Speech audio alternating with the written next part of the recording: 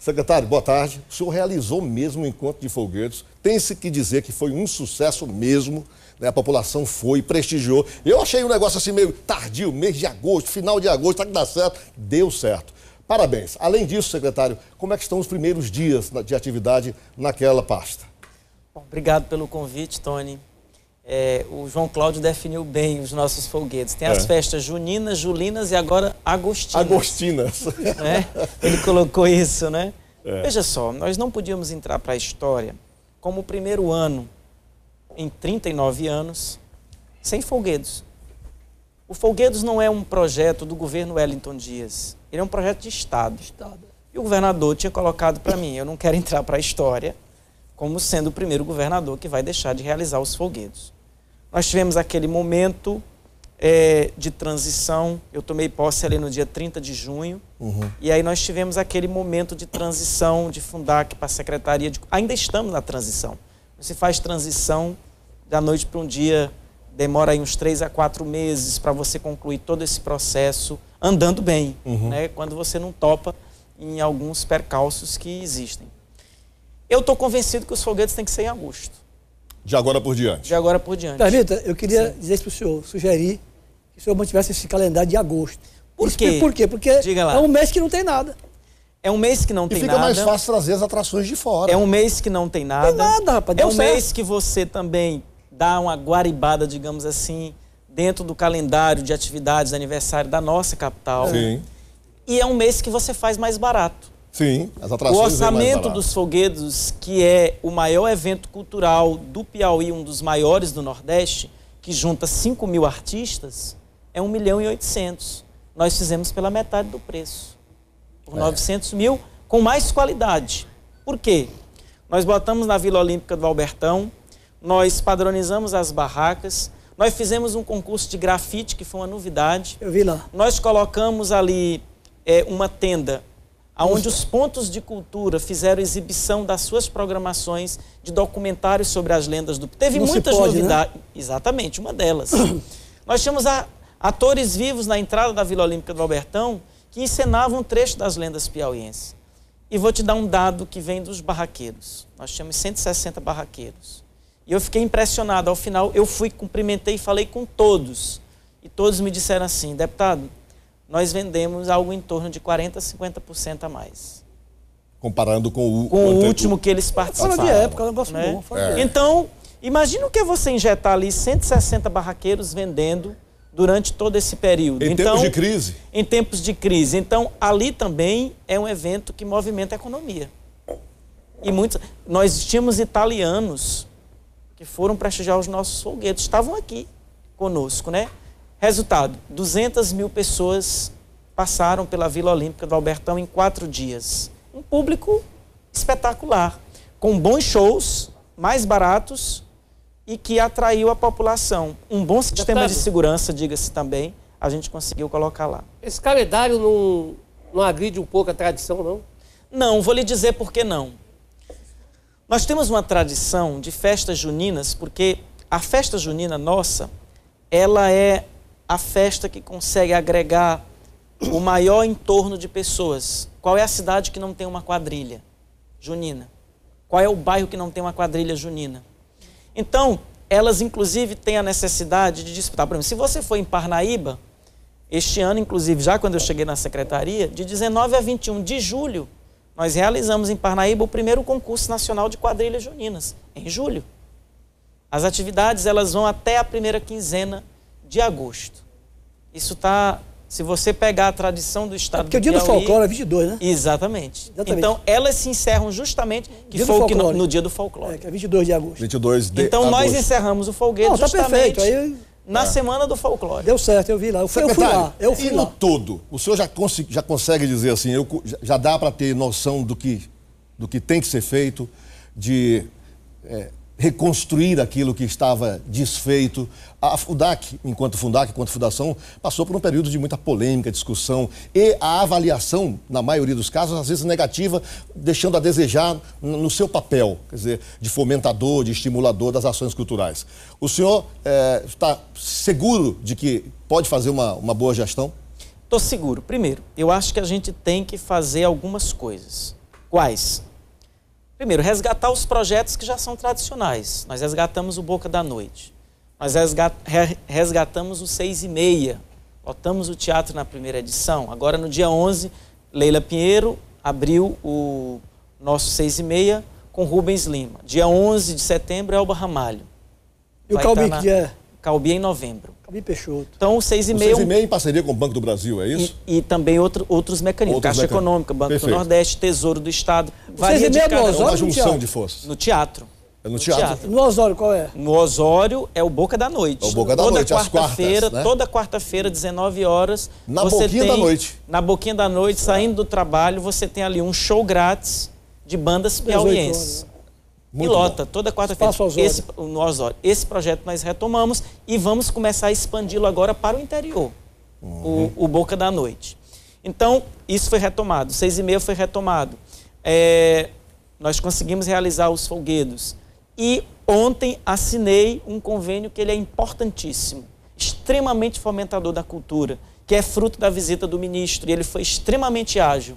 Assinei ontem o convênio, estou dando aqui em primeira mão para vocês, é da reconstituição dos 80 pontos de cultura. Nós temos 80 pontos de cultura no Piauí, instalados em 73 municípios. Eu tenho que finalizar esse convênio, pontos de cultura que funcionam, que faltam parcelas por receber. Eu assinei ontem, já mandei hoje para Brasília, deve ser publicado amanhã no Diário Oficial. Uhum. E aí vou fazer uma reunião com todos esses pontos de cultura desse convênio já existente. Esses pontos têm coisas fantásticas sendo produzidas no interior do Piauí. Isso é fundamental para o Estado. Agora, em setembro, nós vamos entregar em Floriano a reforma e a abertura que estava fechado do Espaço Cultural Maria Bonita, que é um museu e é um teatro. E vamos reabri-lo no dia 23 de setembro, em parceria com o grupo Scarlet de Teatro, que realiza lá a Paixão de Cristo, é, e é bom que se diga, Floriana é hoje a cidade do Piauí, mais inclusive que Teresina, que tem o maior número de grupos de teatro constituído. São mais de 20 grupos Nossa. constituídos. E nós vamos sediar, de 23 a 27 de setembro, um Festival Nacional de Teatro em Floriano, na reabertura desse espaço cultural. A minha ideia, Tony, uhum. é, é que até meados do próximo ano, as cinco maiores cidades do Piauí, Piripiri, Floriano, Parnaíba, picos, elas tenham os espaços culturais revitalizados. E nós estamos caminhando nesse sentido. E aí vamos andar também para outros municípios. Agora, no mês de setembro, no, na primeira quinzena de 10 a 12, a gente realiza em Bom Jesus a oitava edição do Festival da Rabeca. E aí a gente está construindo, além da Rabeca, já parcerias com a educação. Por exemplo, esta semana acabei de receber 39 kits de livros de autores piauienses, já feito pela Academia Piauiense de Letras, em parceria com a Secretaria de Cultura, aonde parte desses exemplares nós vamos doar para um projeto de leitura para as penitenciárias. E cada detento que fizer a leitura de um livro de um autor piauiense, ele terá revertido três dias a menos sua na sua pena. Para isso, ele tem que produzir uma resenha do livro. Provar que leu Exatamente. através da resenha. Exatamente. Maravilha. Bom, deputado, o, o, nosso tempo sempre é muito curto aqui e a gente vai aproveitar para falar também sobre a condição de deputado, de Vamos político, lá. né? É, para a gente poder tratar. Foi eu presidente quero, do partido. É, eu quero aqui na, nessa Câmara do Cardoso, por favor, Júnior, só chamar a hora certa do botepreço.com, dizer que se você quer comprar um carro, quer vender um carro, é botepreço.com. 2h33 é a hora certa do botepreço.com. Daqui a pouco a Sayuri vem com as ofertas ofertas do botepreço.com da loja Jockey, a loja da zona leste de Teresina, ok? Pois bem, maioridade penal deve ser reprovada no Senado Federal. Isso porque saiu um levantamento que diz que a maioria dos senadores vai votar contra a PEC. O assunto repercutiu na Câmara e na Assembleia. Pedro Alcântara. O debate sobre a redução da maioridade penal do Brasil voltou a ser assunto discutido nas rodas políticas e nos parlamentos a Câmara Federal, em dois turnos, decidiu a redução da maioridade para 16 anos. Mas o Senado Federal entende diferente. Ao invés de reduzir a idade, prefere aumentar a pena restritiva de liberdade do menor infrator. O fato repercutiu na Câmara Municipal de Teresina e na Assembleia Legislativa.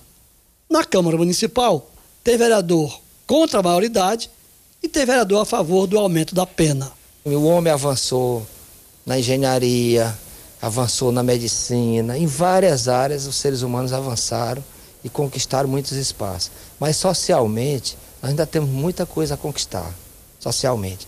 Então nós vimos exemplos bárbaros de crimes cometidos por menores. Né? Inclusive essa questão do, dessa movimentação de, na área das drogas, muitos menores envolvidos.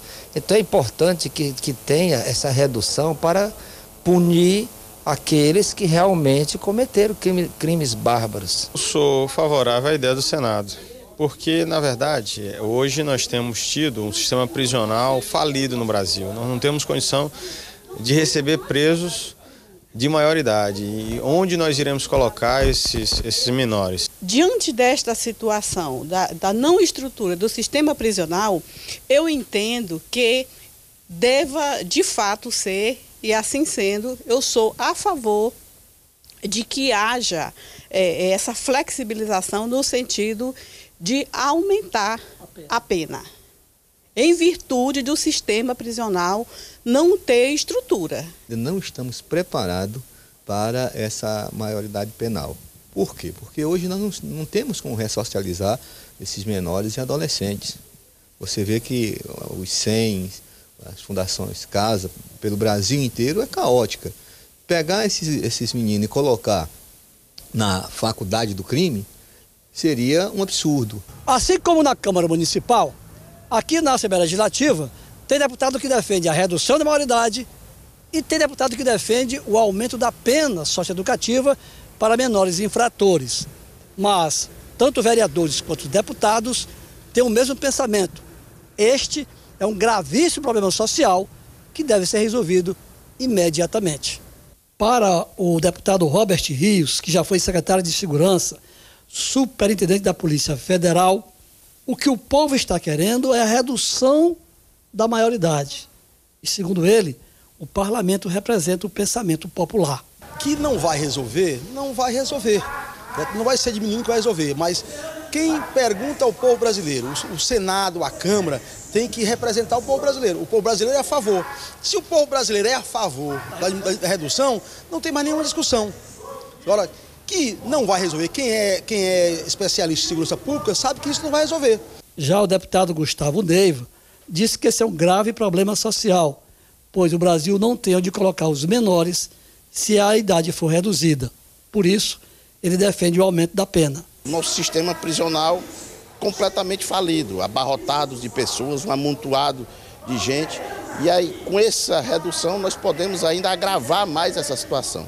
É, essa sugestão que está no, no, no Senado Federal também pode ser uma saída. Você aumentando, deixando a, a, a idade penal em 18 anos e elarticendo, aumentando as penalidades para o menor infrator.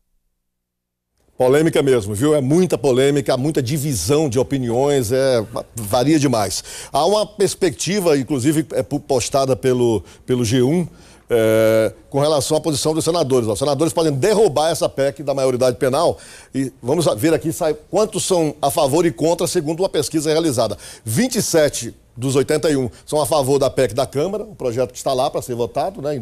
Já duas votações. 49 é, mínimo de votos para aprovação da PEC no Senado. 45 contra a PEC da Câmara e 9 não quiseram se posicionar. E aí se fala da, da ideia da reformulação. O Senado. É, do ECA. É. Quer ir lá pegar o Estatuto da Criança e do é, Adolescente como referencial e jogar para 10 anos, ampliar a pena para 10 anos. Qual é a sua posição, deputado Fábio Novo, sobre isso? Com todo respeito, um país que discute criação de presídios para menores. menores não pode ser levado a sério. Temos que investir em educação colocar a escola em tempo integral para deixar os meninos estudando e associar a escola, esporte, educação e cultura. Acho que a saída é essa. O caminho é esse, né? Eu vou te dar um exemplo que a gente está fazendo em Bom Jesus. Os meninos da escola pública, no final de semana, em vez de estarem, nós temos, vamos para a segunda turma de 30 meninos, adolescentes. Final de semana, no interior, o que, é que a gente mais escuta? Morte em moto, e a maioria adolescentes, jovens, drogas, prostituição. Esses meninos estão, final de semana todo, estudando rabeca. Tá aí um exemplo que pode ser seguido por outros municípios, por outros estados. É. Deputado, muito obrigado pela sua vinda. O tempo, infelizmente, é muito curto. Nosso programa tem menos de uma hora de duração. Se tivesse mais, a gente conversaria, mas é um prazer recebê-lo aqui. Prazer Parabéns, meu. a gente quer acompanhar e, e torcendo aqui para o seu sucesso lá como secretário de Cultura. Obrigado.